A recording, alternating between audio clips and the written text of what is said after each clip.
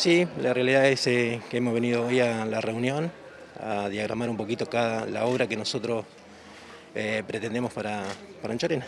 Nosotros tenemos planificado todo el cambio de las luminarias a LED en el pueblo y después este, hacer dos bulevares con paseo, cordón cuneta, iluminación, bancos.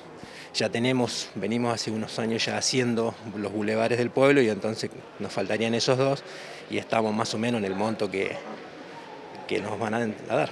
Sí, eso es un beneficio. Nosotros estamos en el gobierno del 2011 y bueno, siempre hemos tratado, en 100% de la obra es con mano de obra local, o sea, lo que es construcción, todo, todo, tratamos de hacerlo con la gente del pueblo.